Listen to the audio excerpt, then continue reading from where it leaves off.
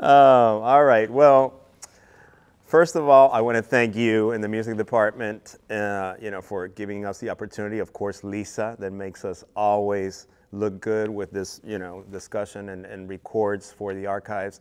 Um, such an important uh, thing, right? Because we had in the past uh, uh, huge maestros, no, uh, talking about different, um, not only mentorship, but what it meant to be for them, uh, artists and musicians and, uh, and all that, that helped also the younger ones or the younger players like my student here, Jesse. But um, I think that today is about, um, is about starting a conversation. I mean, me and I'm sure Geovane too, as uh, musicians that were kind of foreign, that we came here and now we call New Orleans home, um, being able to fit in has been very easy, right? Uh, this is a city of music lovers. So we came here. I don't know, you can talk about your experience, but um, my experience that I came over here and uh, I, I, felt the love uh, for music of all the people of New Orleans. Um, maybe not as much classical guitar or classical music, but music in general. And that helps because it helps you also uh, have a broader understanding of, of your profession and, uh, and your musicianship. Um, being able to play, even I don't consider myself a, a, jazz player, but being able to play with jazz musicians uh, had also opened my understanding of music and my approach. So I think that's, uh, for me, it's liberating and it's fun. Uh, it's a way to connect with the community too. So uh, the reflection was, I would like to know more about guitar in New Orleans, right? And I was trying to find out, I was trying to ask questions, and I couldn't find much uh, uh, about anything that was already published or written about the history of the guitar in New Orleans. Being this our sixth uh, New Orleans International Guitar Festival, the first one coming, um, you know, out of the pandemic, I thought that it would be great for this kind of like renaissance to kind of start the conversation for this to be recorded, of course, and, and, and now that I have also uh, John Rankin here, uh, so what better way to start uh, um, a conversation about the history of guitar in New Orleans or whatever their experiences are. I think that when we talk about history, the best way to record it, the best way to talk about it is with living experiences like these, right? And also our own experiences of, of people that came from um, other countries, and, and we kind of like adapted also into the musical scene here in New Orleans. So I have also Matt. Um, Matt is the, the study person for, for uh, folk and roots music and all that. So maybe you want to start a, uh, any kind of question, any kind of uh, conversation? Well, um, I, I, ha- I, I have a sort of 10 minutes to talk a little bit about some aspects of guitar in New Orleans. If you want me to just go okay, do so we could do but that. I don't want to take too long. Okay, so um, Matt, if you don't know him, he's a professor here at Tulane. Um, and also I have Carl LeBlanc and I have uh, John Rankin. These are the real New Orleanians, right? We are here the imposters. Not really, but uh, Geovane is also now in the in the guitar department, and uh, he's a Brazilian guitarist, and um, and so that's what we kind of want to do. I want to hear their own experiences. I'm sure that everybody has uh, questions, you know, because the first thing that comes to mind is New Orleans is a musical city, right? Uh, so what's happening with guitar, right? Okay. So go on if you want. Cool, cool, yeah. And uh, you know, Javier asked me to do this, and I said I really don't know anything uh, about this sp specifically, except that I play guitar, and I moved to New Orleans in in '97, and I've studied the music here, I guess, for 25 years now, which is crazy. Um, and, and as a guitarist, as you walk around this city, um, I think you, you, you, see a couple things. Um, and, and, and I don't mean to, to, to marginalize the guitar anyway, but I think that the guitar has, has maybe struggled in New Orleans a little bit to find its place, right? This is a music town, um, but it's not a big guitar town. It's really a horn and drum town and a little bit of a piano town.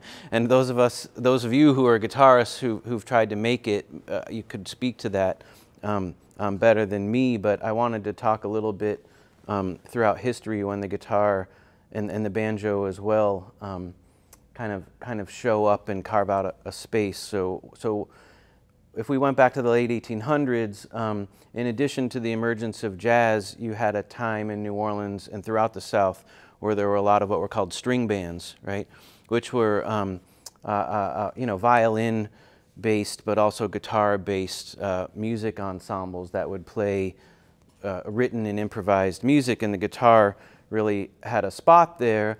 Um, and as jazz began to emerge, the, the, guitar would appear in some of those ensembles. So actually, the first picture we have of Buddy Bolden from I think 1906 or so, um, Buddy Bolden as the the kind of agreed upon first ja jazz musician, though that's maybe not always agreed upon, but, but uh, in the picture is Willie Cornish on, on guitar, right? And, and, and looking back on it, it seems unusual, um, but there were violin players in jazz too, and what happened in um, 1917 when the first jazz recording was made by the original Dixieland Jazz Band, and it was um, horns and drums and bass um, and, and piano, um, that really helped kind of solidify what the New Orleans Jazz Ensemble was supposed to be, and the violin went away. So there's an interesting story, for example, about Manuel Manetta. They called him Fess Manetta. He, he kind of puts down his violin at that point and switches over to piano. And, and so the, the place for the guitar-like instrument it, from that point on in the 20s um, really switches over to the banjo. And, and I think it's mostly because the banjo is louder.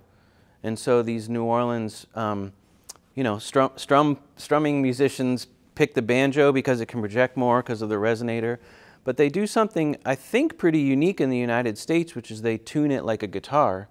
So the banjo throughout the, the South and Appalachia, where we associate it with, is tuned differently. But in New Orleans, um, people like Johnny St. Cyr, um, uh, Narvin Kimball, who I think you, you knew, you worked with, right? I believe they would tune it like a guitar and then strum it with, with the left hand patterns that we associate with the guitar, and then they could easily go back and forth. And I think um, for a lot of us who were lucky to see him, like Danny Barker um, was probably the great kind of ambassador of that tradition, and, and Carl as well, um, in the, up, up until the edge of the, the 20th century. So um, it, it, it's unique. At that time, um, big bands were taking off in the United States. The electric guitar came in, so you have people like Charlie Christian, you know, strumming in these big bands and other places. In New Orleans, if, if you, where we're known for traditional jazz, it really stayed with the banjo in that spot. So sometimes if you go to Preservation Hall or the Palm Court and you see these traditional ensembles, that banjo will still be there. Yeah, so uh, the, the, a few other people I wanted to mention is one is there was an incredible musician named Lonnie Johnson uh, who, was born in New Orleans, I think in, in, in 1899. Uh, great um, guitarist and violinist, and um, left New Orleans and became associated with, with blues music. But um, to me, he's really a, an example of a type of guitar player in New Orleans, which is he could play anything. I mean, he could play ragtime, he could play modern jazz, uh, he could play blues. Um, and I think that type of player crops up again and again in New Orleans. John and Carl, um, uh, um, Walter Wolfman Washington, um, uh, um, trying to think of, of who else kind of kind of fits that bill. Don Vappie, the, the people who you, you might show up on a gig on Tuesday night and they're playing straight blues, and you show up on Wednesday night and they're playing like contemporary jazz music. You know, people in New Orleans say, musicians say, you know, music for all occasions. And how many times do we go out in New Orleans and you see you all chatting, you know, you walk on stage, uh, so what are we playing tonight? you know, someone counts one, two, three, four, and the, and the, the band comes in, right? So, um, yeah, I think uh, uh, uh, in terms of the, the kind of musical analysis aspect of it, I, I think one thing we know as guitarists is we're responsible for, for the harmony, for the chord changes. And so the guitar um, is equivalent to the piano in that way, and then different from the many, many other instruments of, of New Orleans music that, that play melodically but don't support the group. So you also see a lot of solo guitarists, like, just like solo pianists out on a gig, right? And that, of course, you know, not too many of us want to go hear like a solo trumpet player playing alone all night long, right? But, but you'll see, and, and I think that's a particular type of musical mindset where you've, you've got to be able to entertain people um, as one musician, and so you've got to be able to to play harmony and melody. You've got to be able to, to know a, a large amount of repertoire. It's almost, um, you know, we say idiomatic. The guitar is idiomatic in that way, in that um, we, we wind up doing certain things that maybe a pianist can do, but, but not too many other people do.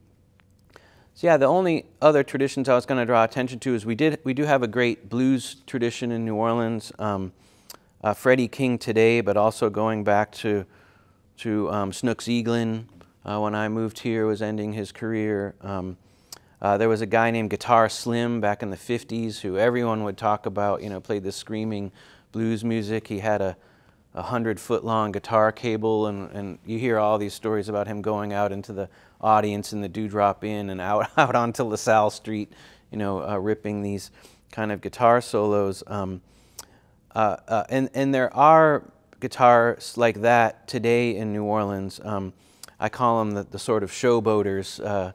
Anders Osborne, um, June Yamagishi, um, the Radiators, uh, um, some other um, real screaming guitar players.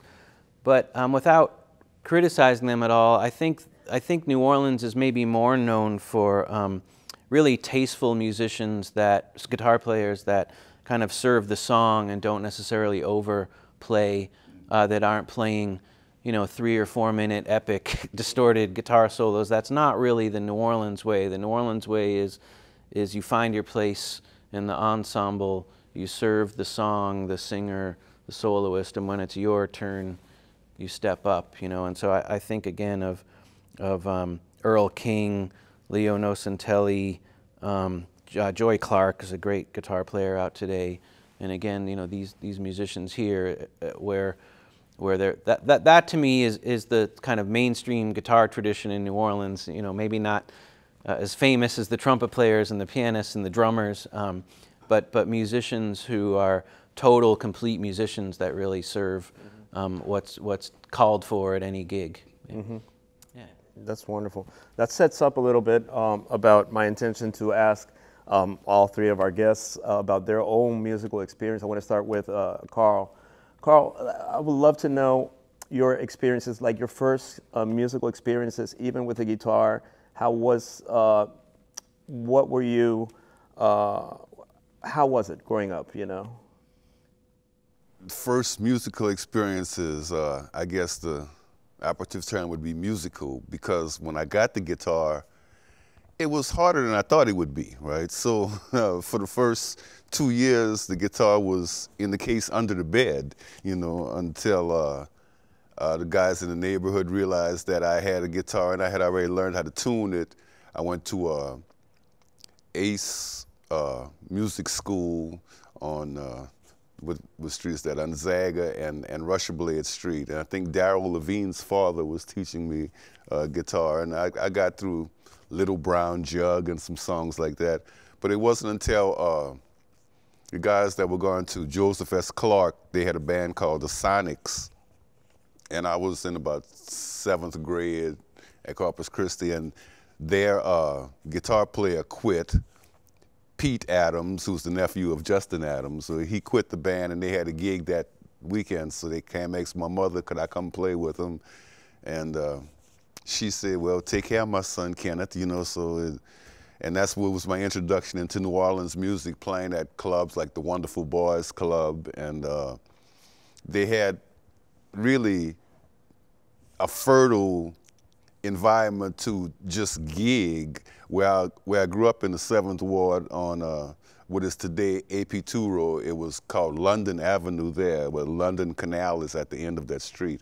But uh, from my house, there was uh, the Autocrat Club, and on the corner, Jory's, and uh, down this way, the Pentagon Hall, and uh, Le Chat Boutique, which later became Club 2004, and then there was the Celebrity, which is now uh, Bertha's, and just there was about five or six clubs uh, walking distance from my front door. You know, I can almost see them, and so I was able to go to those clubs and ask musicians, uh, you know, what's that you're doing? Show me how to do that. And as I got a little older, they would say, come on and you can play a song or two. And uh, so my first musical experiences in New Orleans would have to be, I'd say, being taken under the wing uh, by some musicians who saw something in me and decided that they would give me some time. Uh-huh. So the, the musical instruction that you would get were, was by going to these places and asking, just I want to know what, you know, how, how to play what you do, you're playing. Did you get the, the support from your family that, or how was that when you started with, you said you had a guitar already, so how, how was well, that provided no, I, to you? I got the guitar. No one in my family played music. My, my dad said he had a sister who played violin, but they had moved to California, so I didn't have anyone, uh, I didn't have a musical family like the Marsalises or the Nevilles or, you know, the, the, the long line of everyone in the family being able to play but there were people in the neighborhood, uh, Louis Barbarin, uh, Paul Barbarin's brother, uh, Isidore Barbarin's son, Danny Barker's first cousin. They lived right around the corner. So Louis would, would sit me down and try to show me some chords, but he was a drummer, so he really couldn't, uh, you know, show me a lot about guitar. But I'm sorry, what was the question again? Not just that, like, uh, how was the support that you got from your family? Your, you know, the environment. I'm, I'm, I'm really interested as being, you know, African American growing up, and what, what were the experiences? Uh, were you limited at, at any point, you know, to pursue the, the that musical dream, or you know? Or no, not limited at all. I would even say propelled. You know, because uh, as you were walking down, they had all these musicians. They were getting bands together. Everybody had a band in each neighborhood, every high school. And you walk down the street, you hear somebody knock on the door. Hey, my name's Carl. You know, they'd let you in the living room, and before you know it, you could play with their band. If you could, if you knew the songs and could play with them, you know, you were included. It was a, a community where the music was uh, was not hoarded like you know well this is this is mine. It was like okay love, music is for us all. And i guess they could bring that to a sort of an african tradition where the uh, there's a song for each ceremony. There's a song for a wedding. I knew that was going to happen. Excuse me Great my, ringtone. My daughter, I'll call her back. uh, okay, there's a song for a wedding. Here comes the bride. There's a song for a birthday, you know, happy birthday. But uh, in Africa, there's a song for the sun when it comes up. There's a song for when it rains, you know. So the, the music is more than just for uh, entertaining and uh, it's it's a part of everyday life. There's a song to wash your clothes, you know. There's a song to to, to, to cut the potatoes. a, and so I think in New Orleans, the music was more a part of uh, everyday life than. Now my generation was a little different because uh, I was born in '55. So uh, when I started playing music, it was the '60s, and that was the heyday of the guitar and uh, every song, every record came to a climax with a screaming guitar solo, you know, like the rock, you know, and that rock and roll was the was the the palette on which guitar music was uh, was founded, but classical guitar music I did study when I got to college. I studied for a few years with Mr. Barreiro, Elias Barreiro, and he opened my eyes with the first thing he told me was, uh, I'm not going to promise you that you'll ever be a famous guitarist because there's people who've been practicing this music since they were children, you know, and I was like in my 20s by this time. He said, but I can teach you some things. And what he did show me was, well, first of all, finger picking style. I had never done that. I had always played with the plectrum, but uh, being able to use all my fingers was introduced to that through the classical music repertoire. And then also technique, because being a self-taught musician, I had never thought of the logical or the, the most sensible way to finger or to uh, to maneuver around the neck of the guitar. You know, it was just uh, okay. I know I had to play this note, I had to play this chord, and however I got there, as long as I got there on time with the rest of the band, because it was just uh, and I tell my students today that they learn in the classroom like Geovane and they have the students at NOCCA and everything. Learning in the classroom is one thing, but I learned music in the barroom like it was supposed to be learned, not in the classroom, you know. So it was like trial and error and in New Orleans, you said black music.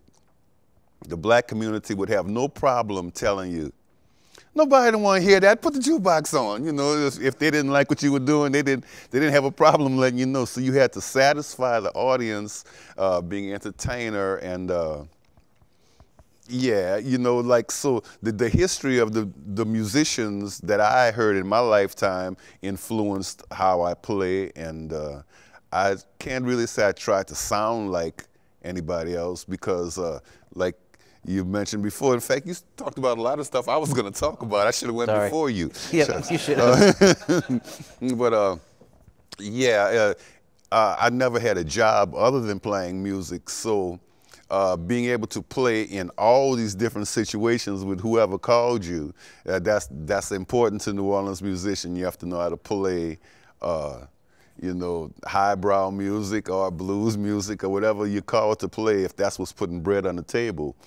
And uh, a lot of times I'll find myself on jobs where I really didn't want to be there, but I had to do it to eat. So I'd be like, what time is this going to be over with? You know, and those were some of the jobs. But uh, I wouldn't change any of it because I did learn so much just being in New Orleans and performing the style of music that music that New Orleans brought to the guitar. The rhythms, you can tell the rhythms of New Orleans music are so different from rhythms anywhere else, you know, I mean, maybe uh, South American and Mexican, South American rhythms, you can see it. The African rhythms, you can see it a little bit. But the New Orleans rhythmic concept is uh, is it's the foundation of of uh, all American music, the blues, the rock and roll. It all it all comes from that rhythm. And so the guys that I had a chance to hear were influenced by people like uh, Papoose, who was Fats Domino's first guitar player. And the whole while I was with Fats Domino's band, he was always telling me, he was trying to get me to play this rhythm that, that Papoose used to play. And as close as I, I always, I sit there for an hour and he would just be doing it and I would be doing, and I think I had, I had it. No, that's not it yet. And you know, I don't think I ever got it, you know, but that's why sometimes he would have three or four guitar players on the stage with him while he's performing because I think he was always searching for that for that sound that Papoose had. And you mentioned Snooks. I remember going down the street one day and passing the club and I heard a band inside and I opened the door and it wasn't a band, it was Snooks by himself. you know, he's playing the bass line, he's playing the chords, he's singing, he's stomping on the floor like a bass drum. From the outside, he sounded like a whole band, you know, so playing solo guitar uh, was an option. I played at Lou and Charlie's, my first solo uh, place. Charlie let me play there. I must have been about 17, 18, and he let me play there. Uh, but uh, Earl King, look, th this is a list of the, the ones I just put together a list of guitar players from New Orleans. Uh, Papoose, Irving Bannister, Buddy Charles, who was Irving Charles' father, Andrew Phillips, who played on Oop-Oopie-Doo, Earl McClain, Leroy H., uh, Guitar Ray, Earl King, you know, uh, Roy Montrell, okay, they call him the devil, Roy, and some people say he was the best guitar player. Uh, guitar Slim, uh, the things I used to do. Curtis Trevine, uh, his, his uh, sister Andre Trevine was a newscaster here. And his, his, mother didn't let me talk to him because she thought that if anybody brought a guitar around, that would bring him into relapse mode. So she ran me away, you know, get, get away from here with that guitar. Uh, but uh, Justin Adams, of course, Snooks Eaglin, and George Davis, who I took lessons with. George Davis left New Orleans and went to New York and played on Broadway for years. But uh, I took lessons from him uh, on telephone, and this was before they had uh, smartphones with video and Zoom and all of that. So I'd wait until after nine o'clock when the prices went down for long distance, right?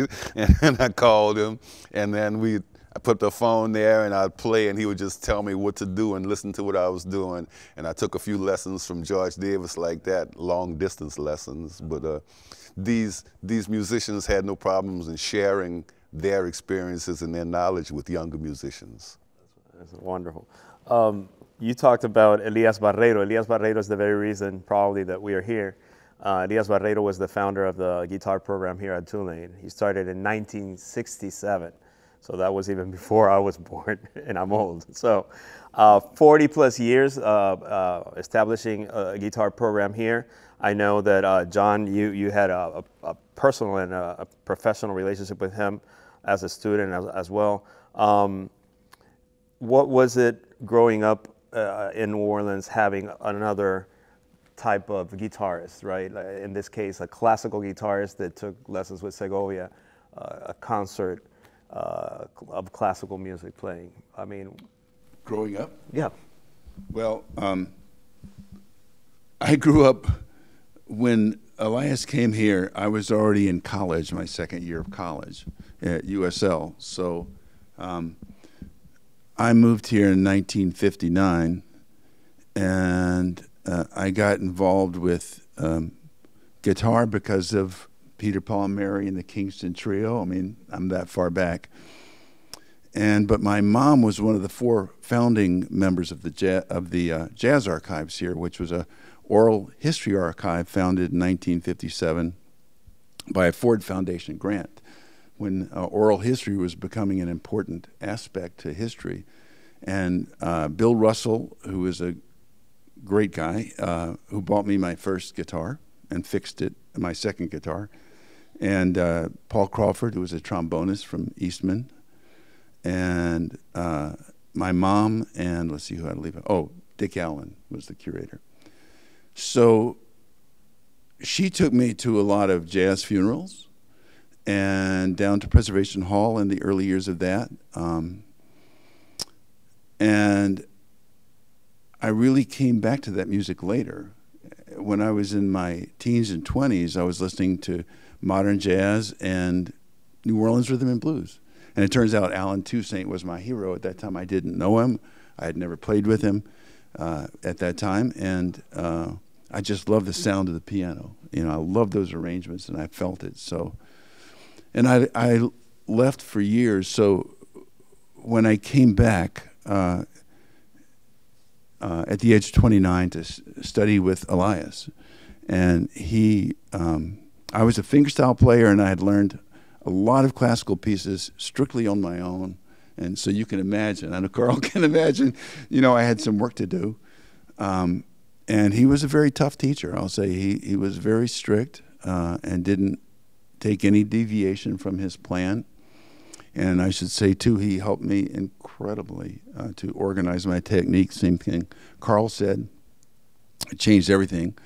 And I, uh, found over time that the music that I was drawn to, even as a teenager, had the chord changes of New Orleans jazz. You know, so I learned Whining Boy from uh, Dave Van Ronk, the New York blues guitarist. And I didn't know it was Jelly Roll Morton. I just said, man, I love the chords on this song. And I used to love, um, my mom would record albums uh, from the jazz archives. So I got exposed to uh, Jesse Fuller, who was actually from Georgia, but he was a one man band who wrote um, very ragtime type changes in songs and played the 12 string. So I kind of came to New Orleans. When I came back, it kind of coalesced. I realized I was super involved with New Orleans music, but hadn't really studied it. So then I worked backwards from there. And after I went to business school, I, from my marketing professor, helped me realize that I was really what they call a niche marketer, and that my real um, focus should be really on playing solo guitar in this town, fingerstyle, or like a really average piano player, you know. Um, right? Yes. So that's a short. short no, no, but yeah, but also um, Elias created the opportunity for um, some musicians in the city to be exposed to great uh, performers like Manuel Oh. Barrueco. we were Oh, just talking gosh. because we had Yeah. Manuel Barrueco play the first concert of our festival, and uh, and you also had a relationship of playing master classes for him and Sharon Isbin and, and a whole bunch of other guitarists that were very important as a referent um, in the world, right? Well, when I went to school at USL, I majored in theory and composition because there were no guitar programs. And also, I didn't know anything about the formal structure of music. So I studied every instrument but guitar, except I took some jazz lessons privately with Bobby Brooks over there, who is a kind of a Johnny Smith style player. Um, I didn't really realize how unique Elias was until I studied with him for a while to get all those master classes. He had Juan Mercadal. I mean, um, there was a master class or two every year. And he had the concert series where he brought in four guitarists every year. They're sponsored by the university. And he'd have two in the fall and two in the spring. The GFA winner would come in. So there was a concert series here. And he did all that. He was not remunerated for that. He did that for his love of the guitar. And he recorded every single event and um, was so active in it. And again, he, he wasn't paid for that. That was all love. So that's been a resource to all musicians in New Orleans for the entire time he taught, which was, let's see, 40, 50 years? Mm-hmm. Well, uh, over 40 years. Yeah. Over 40 years. Yeah. So um, amazing. In, in, talking to him, I spent on the phone like 45 minutes a couple days ago, just to get a little bit of his own timeline here in New Orleans. Like when he got here in 1967, he said, uh, or a bit before that, that there was no classical guitar None playing, of course, and uh, so there he, was flamenco then. Right. So he was invited to play a concert at Loyola, and that's where kind of you know they discovered him, and so he he quickly got hired to to be a teacher here, to be a professor.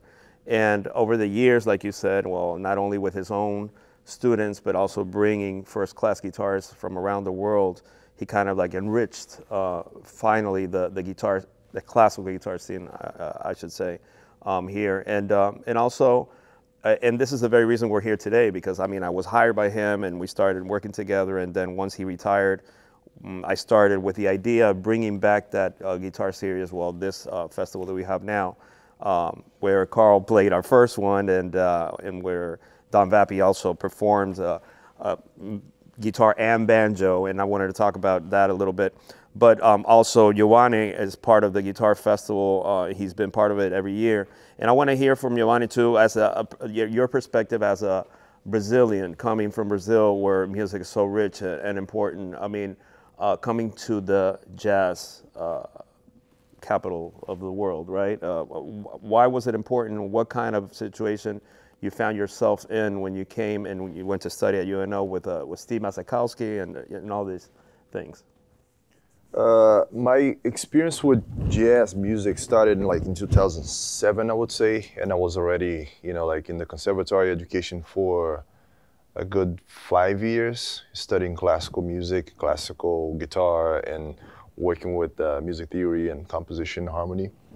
But I had a teacher that introduced me to the what he called the the history, aesthetics, and language of jazz. You know, it was a, a very comprehensive class that he would just like show us, you know, like the trajectory.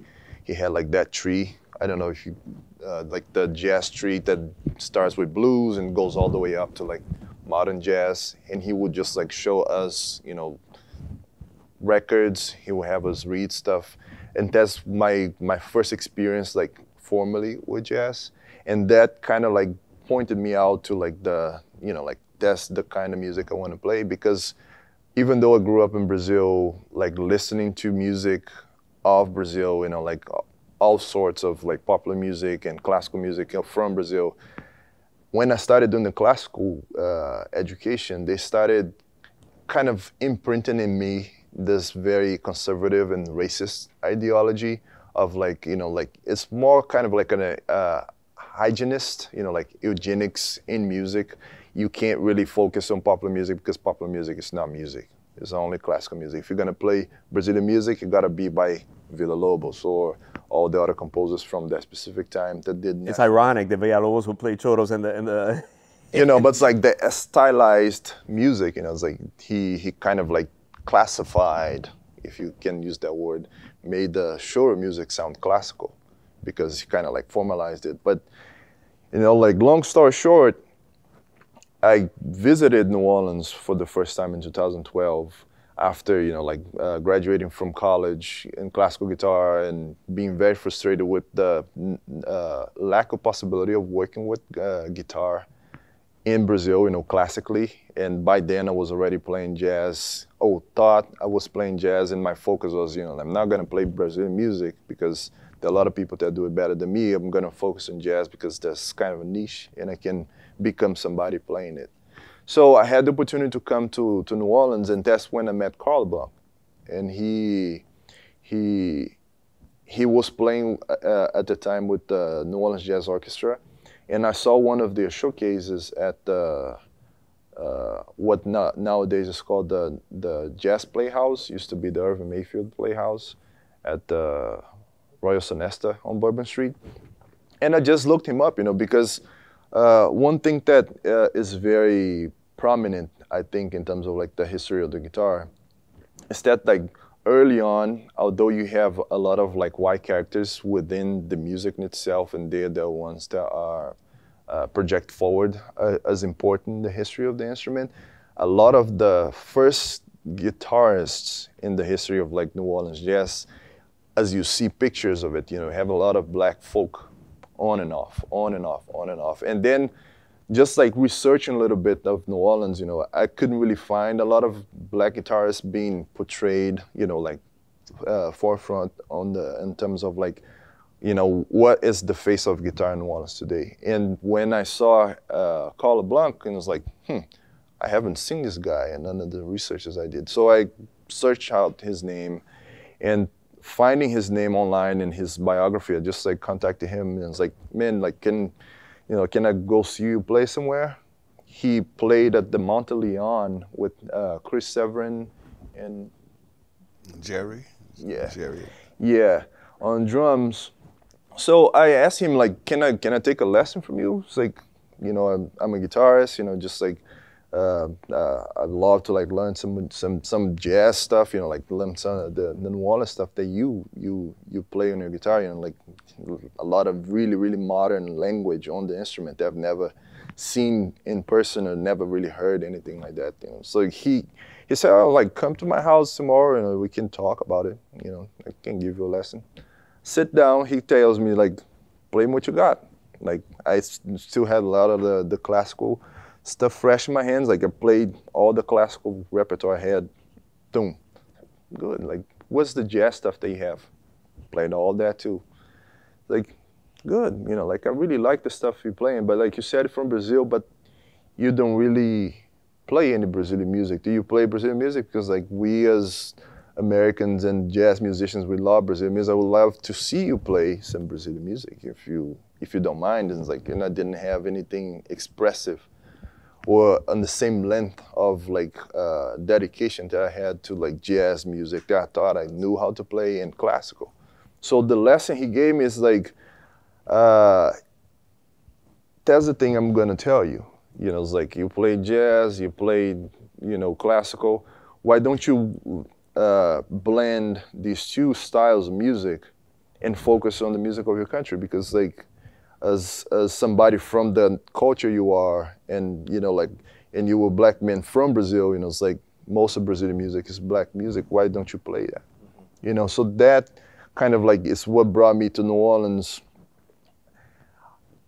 I would say like five years later when I moved here, kind of prepared to face the like the possibilities of not only you know focus on jazz but also being somebody who can defend himself playing the music that's culturally relevant for me. Mm-hmm. You know, and like uh, as you said, you know, like you might be received uh, as a, a, welcoming when you get to the city, but sometimes it's like it's tricky because you might be welcomed to to do the like non-paying gigs here, and like you have to fight for space on the on the music scene if you're not expressive or if you don't have like too much of a name or or you don't have the right connections. And that's something that I faced when I first moved here. And I was even like considering not focusing on music too much in 2015. But like, you know, just like taking any gig possible just to get my name out. And it's like, it's the thing that people do. You know, you get in, you sit in, and you get known and you play with people and you like spread out the word that you, you like, you can play it even if you can't. So you just like learn on the spot and just like start to develop not only the network but also the ability to be kind of a jack of all trades because like uh, Professor Sakakeeny said, you know, like there were situations, and also uh, Mr. Kalabank also said that like you are in in gigs that like I've never played this kind of music before, but it's it's, it's the call. You have to make that that, that, that money and have to put the bread on the table. You know, like played Bulgarian music, played you know like Jewish music. Never played Jewish music before. I played. Uh, music from uh, Morocco. I played Cuban music, played, you know, and as a guitarist from Brazil, I got labeled the guitarist from Brazil. So a lot of times I will be forced to play uh, the song from Brazil that everybody wants to play, which is the Girl from Ipanema. And that's like, it's, it's, is, is a blessing and a curse because as Carl said, that there is a specific rhythm to New Orleans music that you gotta know it to play it properly. There's music like any ethnic music, they do have their own accent, and that's something that whenever I'm required or forced or coerced to play the music with musicians from here, there's a lack of knowledge about what this rhythm is for Brazilian music. So that in itself created uh, the, the spark for the research I do in my, my doctoral uh, program right now, which is, you know, just like the search for the groove and what is missing and why it misses like that, you know, just like working with music accent and all. Mm-hmm. Mm-hmm. Um, each one of you guys brought uh, your challenges, your experiences, and I think that we could pick any of the of the little points that we've heard today and, and make another conversation. I think that this is a great way to start um, with and, and, we missed a lot. We've been talking for, for just an hour, but we, we, we're missing so, so much. But I think that it's a great opportunity that we come together uh, and in this uh, festival where we have visitors from Spain. They're going to be performing uh, tomorrow and from uh, Cuba and Miami. Um, and I think it's, it's great that we can showcase um, our own treasure that's the, the music in New Orleans, the guitar in New Orleans that has a space, a definite space. And I think it's important that, um, that now we can kind of like make it official that, you know, we, we have this, uh, uh, you know, colleague thing going on and, and that we can, uh, you know, talk about, uh, proudly about our roots here as foreigners or as New Orleanians in this case, you know. Um, I just want to thank everybody. I want to uh, make sure that uh, you guys, if you have any questions um, at all, um, please, this is the time. any, Brenda, the, the questions I wrote, you know?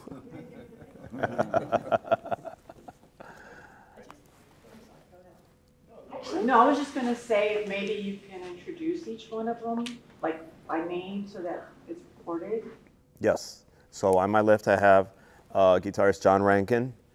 Um, on my right, I have guitarist uh, Geovane Santos, and I have uh, Carl LeBlanc, which we are honoring this year. Um, he decided to retire. I, we don't believe it because he just told me yesterday he was working on a little tune. He sat on the piano. He's like, "This is the tune I'm coming up with," you know, just yesterday, and he started making so beautiful music. And Matt Sakakeeny is here representing also uh, and I'm Javier Olondo, been here for uh, quite a while now, 15 years. And uh, so I'm just thrilled and happy that we have this opportunity to bring uh, wonderful musicians to this festival and also the conversation. And I'm sorry, I'm Lisa from the library. If you have questions, please speak into the mic for the recording. Okay, so uh, into the mic. Okay.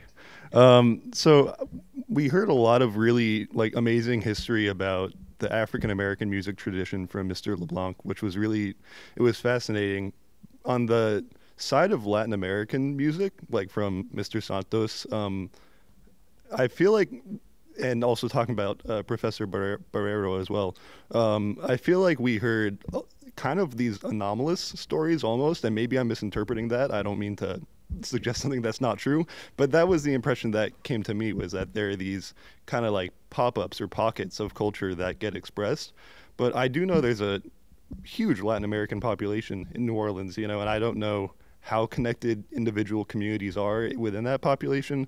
But I'd just be interested to hear more. Is there a musical culture that's kind of widespread across that community a bit that, that you've picked up on or that you've been a part of, or you know that might be comparable or similar in some ways to the African American community and that tradition, or you know what? I, I'm just interested to hear more about that that side of things. Yes. So um, I can I can talk a, a, bit, and then you guys can can come up with uh, your own experiences. Um, the Latin American community here is, a, is more of a, a, Central American community. Uh, from Honduras, Mexico, there's very incredible musicians that uh, that have worked in the quarter, and they also have worked in, with American bands. Um, I'm, I'm, thinking of uh, Roberto Choeto. I'm thinking of uh, yeah, Julian Cesar, which are from Guatemala, like Brenda and, uh, and, and wonderful musicians, also uh, drum players, and, uh, and uh, they bring their own uh, genres, of course, like Honduras Punta. Uh, they do their own type of music, like in my case, Cuban music, salsa, and all that. So there is a space for that too, but there's also a, a space for us to include other musicians. Like in my band, my horn players are, are from here. They're not Cuban, you know? And uh, so that also gives the opportunity of anybody else to learn a little bit of my culture, my Cuban music or his Brazilian music, you know? So I think that uh, for more than uh, everybody is doing their own background music, right? Or their, the, the, their own national music that, where they come from, um, we're in New Orleans, so we get exposed to that melting pot, uh, you know, that, that always is going to uh, try to uh, make us change a little bit or adapt, you know, so with what we have and what we're working with, you know, and that's wonderful because then the music evolves in a different way. Well, I was just going to mention historically that that um, Jelly Roll Morton referred to the Spanish tinge, which is that kind of uh, the rhythm. A lot of it's at one two three, one two three, one two uh, and um, that relates back to early history of New Orleans of the Haitians that were thrown out of Cuba during the Napoleonic era that moved to New Orleans. I think it was something like 9,000 people. It was about a third of the population at the time. So, you know, the French Quarter is mostly Spanish, right? All the, the architecture and the, because of the fires. And uh, a lot of the maybe the shotgun houses. That's still debatable, but I think the the level of Latin influence on the New Orleans music is really profound, and I think that's what makes it so unique in the states. The interpretation through that. But when I was growing up, um, flamenco music was really big in this town, and there were many, many flamenco players, and now there's much less. Uh, was it Carlos Sanchez? Mm-hmm he was here for a long time. He played uh, various concerts. I sponsored him at Loyola once, and um, before that, there were many players. A lot of those graduated on to, to classical or jazz and moved away, or one of them became a English teacher, I think. And you know, but um, so that I don't know if that was in other areas as well, but that but historically, there were waves of uh, migration and immigration from Latin America to New Orleans, you know, being a port city, and then you have like the history of the bananas and the exploitation put together by the by the United Fruit Company. You know, that's in itself, you know, is one of the things. And New Orleans being the hub and being right and like in the basically the gate of the United States through the Mississippi River. You know, have a lot of people from that region just like being here because of that specific history. And uh, like moving forward, you know, I'm not really sure about like the in betweens, you know, from that to Katrina. But talking about the Brazilian population in New Orleans, for Katrina, you know, like after you know, like the, the destruction caused by the by the the breakage of the levee, you had uh, Brazilian people. You know, it was around six thousand people in 2000, like towards the end of 2005, beginning 2006 come to New Orleans to rebuild the city. You know, so you do have uh, the presence of like a, I would say, you know, like maybe the largest amount of Brazilian people that came at one time in New Orleans historically at that specific point. point, and people, you know, like left after afterwards, but a lot of folks stayed around. And as of right now, you know, I don't know how big the, the, the Brazilian population is in town, but you do have kind of a hub, you know, and, and whenever, you know, like some some like the samba events and and uh, more like uh, uh, events kind of related to uh, popular music happen, you do have a lot of these people come out. I'm going to give a shout out to the Venezuelans in New Orleans. there are some fabulous Venezuelan musicians here as yes, well. Yes, yes, absolutely. Emmanuel Manuel Arteaga is, has been part of our festival as well, playing Venezuelan music with, uh, with Yulene. So that's, uh, that's wonderful to be able also to, to include that, that piece. Um, I, um, I'm glad that the, the question of the, the Spanish tinge uh, came up. Uh, I can uh, plug, uh, I teach a class, uh, the Latin tinge, uh, that talks about all these things. And a great source on it is um, the, the former Hogan Jazz Archive director, Bruce Raeburn. wrote a book, wrote an article beyond the Spanish tinge that, according to his estimates, which are very much based on kind of meticulous primary sources.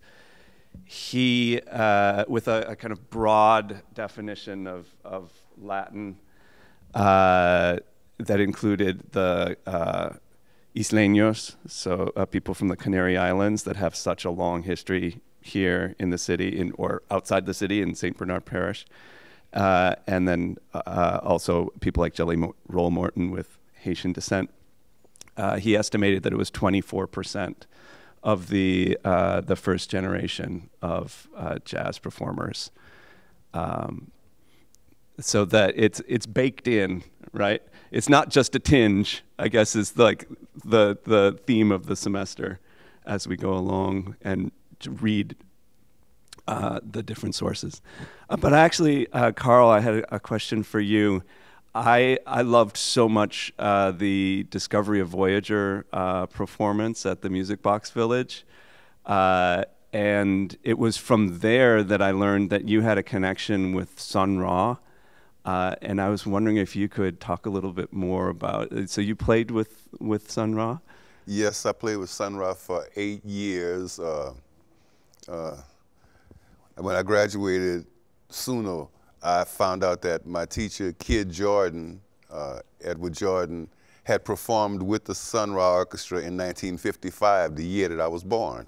So he uh, introduced me to Sun Ra, and I got so many Sun Ra stories that would take a whole nother another week, you know. But uh, yeah, I've done uh, quite a few recordings with him. There's some videos online. Uh, Chicago Fest '81, you could see me intermittently.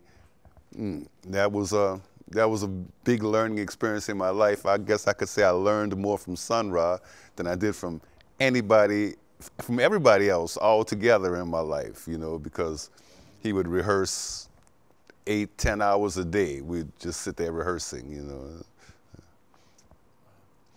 But I'd like to comment on something y'all were talking about with the Latin tinge and the and the uh, South American music.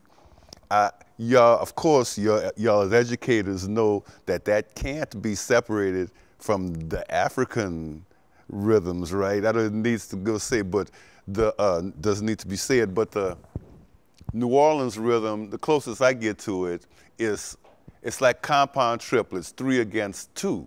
Like if you have the one, two, one, two, and you put the triplets against that. Uh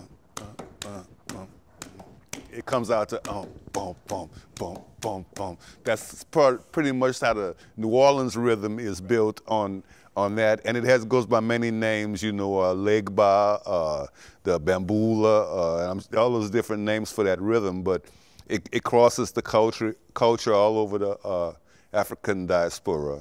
You know. Right. I, I remember Don Vappie in, in a conversation. Uh, in one of his concerts with the, with the audience, he, he would say just that. You know, as a kid, he would just go, you know, on uh, on the bus ride, da, da, da, da, da, da. and he's like, you know, it's like that sense of syncopation. We all have that, you know, that brings you also joy and excitement, right? I, I wanted to say something. Um, we haven't mentioned uh, one of the great guitarists who's, uh, and Catherine Hobgood Ray just wrote a book about Snoozer Quinn and Snoozer is, um, was basically unknown uh, here and pretty much everywhere. He recorded a deathbed recording uh, in 1949 that Johnny Wiggs, the trumpet player, did while he was in, I'm not sure if it was Charity Hospital, some hospital. But he played with Paul Whiteman, and he was a, a fingerstyle player with a unique technique where he, instead of playing alternating bass with his thumb, he would brush the chord. He would play the four beat of a swing feel with his thumb and play melody on top of it. It was a very, very, very complex style. And the book, and Brian Prunka did a bunch of transcriptions of the music, uh, and it was a, uh, the recording was uh, sold by a tax accountant in Manassas, West Virginia, and it was recently reissued as a CD in the last four years. So if you love uh, guitar and fingerstyle guitar, uh, he is a unique anomaly in the history of fingerstyle. Snoozer Quinn, and also uh, Matt mentioned um, uh, Lonnie Johnson, uh, who is greatly underrated as a fingerstyle player. He was the first guy that I've heard on recordings to bend strings. He could play. He was a really fine blues, like pentatonic soloist who recorded with Louis Armstrong, uh, Mahogany Hall Stomp, for example. Um, and he was an incredible fingerstyle player. And most of the modern fingerstyle movement starts with uh, uh, Mississippi John Hurt. It's kind of the folk ideal of it, but Lonnie Johnson was way beyond that in terms of his technique and ability. He was an astounding player. It's like listening to Django Reinhardt. You just can't believe that it's there. Great player. Now, I'm glad for our visitors, you know, they get that also, um, you know, that uh, always listen or hear about jazz. And then you're here in New Orleans and, and also discovering some other names, you know, not only Django Reinhardt, like Lonnie Johnson and other people that um, were part of uh, the musical scene here in the city. You know what I think is so great about this city is that it's, the music is organic here. You know, a lot of, if you go to New York or uh, you know, there's a lot of really studied people, but here it grows up in a family sense, like Carl was talking about. Even though it wasn't his family, it was families that he was pulled into, and uh, that's what's astounding about this city. That it's just it's just part of the fabric.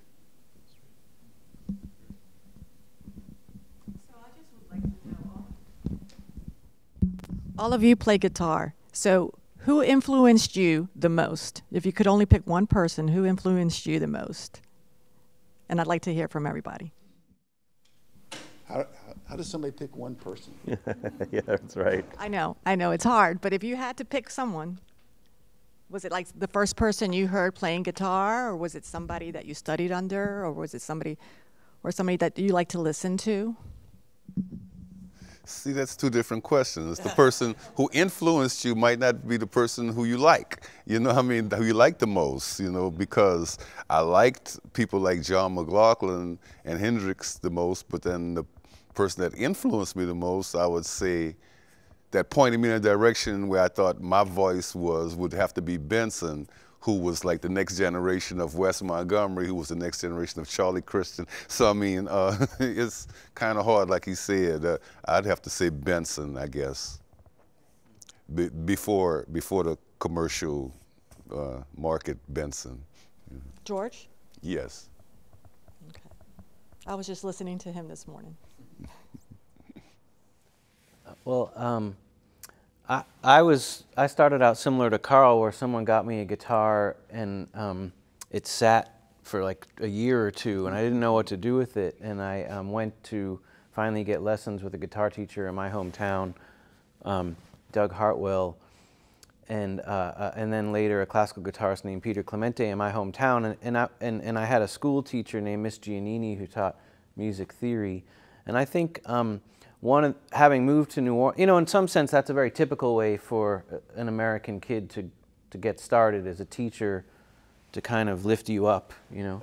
Um, and I think sometimes in New Orleans, people talk about New Orleans like everything is so natural, like you grow up here, and you know, you come out of the womb going, you know, da da da, like like Carl's ringtone, you know, like somehow you're just born here and you're a great musician, and I I I like like Javier was talking about um, Elias Barreiro, and, and so was Carl. I really try to draw attention to those educators that um, that that that if you, you you see that interest in a kid usually, or even someone in their 20s, and you and you and they kind of point, you know, they say you gotta you gotta go that way, right? That you know the the the technique, the basic. Um, you know, I think for most musicians, um, we have a sound in our head, and then how how is it's got to get out of your head, and usually you need somebody to help you, you know, and um, so I, those are the people I always think of as the people who kind of, you know, uh, uh, uh, lift you up. Yeah. I think for me, you know, I had two main pivotal points on, uh, like, in, uh, in terms of like influence in, in my my music trajectory, and one of them was my my uh, jazz teacher back in Brazil. He was uh, like a, a violin a violinist from from Uruguay. His name was Rodolfo Padilha and he basically you know opened my eyes to like the possibility of like using you know like the possi- uh, like you can read music. So read these charts in here. They have like these solos by Django Reinhardt. You know let's learn Django Reinhardt music note by note. So I was learning stuff by ear and then you know like he's like for you to like know everything he was doing read the chart and then kind of like proof it with your ear and then, you know, moving forward, you know, the, the path that I'm following right now, you know, my influence is right here, Mr. Carl Blanc. Because, like I said, in 2012, when I met him, I was like focused on becoming a jazz musician and becoming a jazz guitarist and focusing on, you know, transitioning from playing Django Reinhardt and gypsy jazz swing music to playing Wes Montgomery. And he said, like, you know, just think about it. You know, like you have all of this, so maybe you can just like blend them together, and that's where I'm at right now.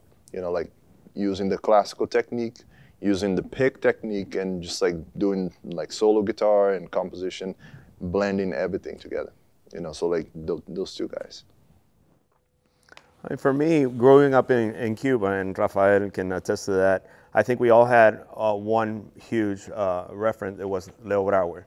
And Leo Brouwer, of course, uh, if you did not work directly uh, with him, you worked indirectly with him. You know, I was, I consider Joaquin Clerch my, my older brother, and I would, with 12 years old, take lessons with him, even though he's just, he was just 16 at the time. And, but he took lessons directly with him. And I think he brought the sense of, a broader sense to the guitar, uh, meaning that the musical heroes were not, on, not only uh, Segovia or guitarists, but now there were it was um, Horowitz or it was Rubinstein or it was Jascha Heifetz, and it made us listen to other things, orchestral works and, and stuff that will you know make us uh, think outside of the box and, and, and, and you know treat the guitar as more of an orchestra, which has been described like that for other composers. But I think that uh, that was important. Also, that the fact that he was a composer and the fact that he also worked with uh, popular musicians, you know.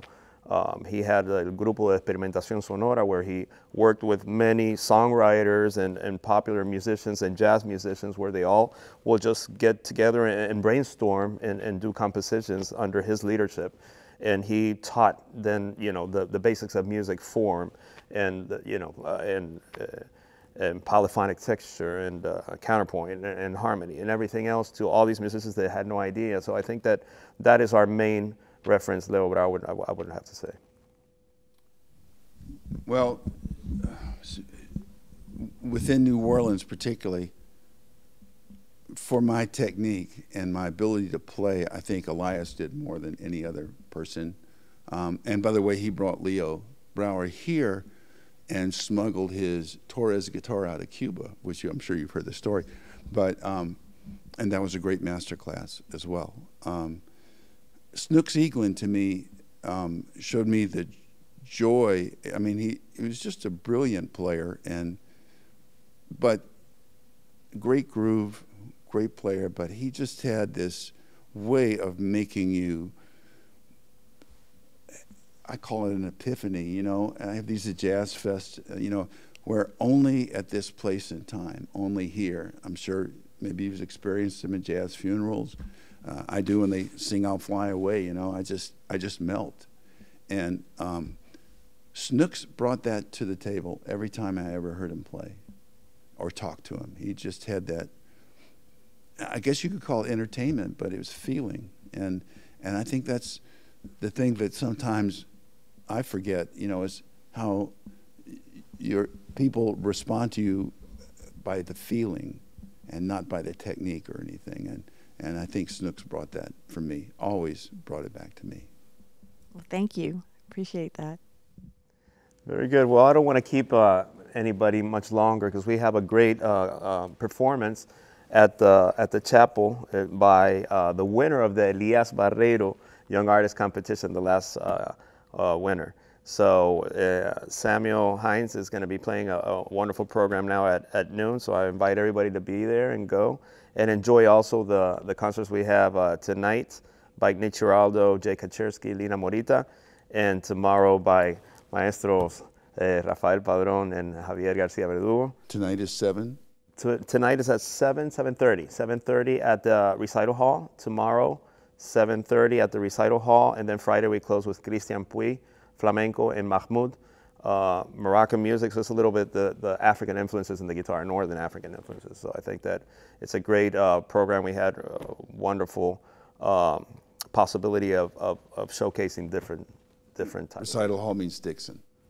Yes, well, no, the Dixon Recital Hall, which is the smaller one. Ah, oh, thank you. Right. Tonight and tomorrow, and then we close it at the Dixon Hall with the flamenco. Yes. All right. Well, thank you so so much. Thank you, Lisa, for giving the, us the opportunity. I think this is a wonderful thing.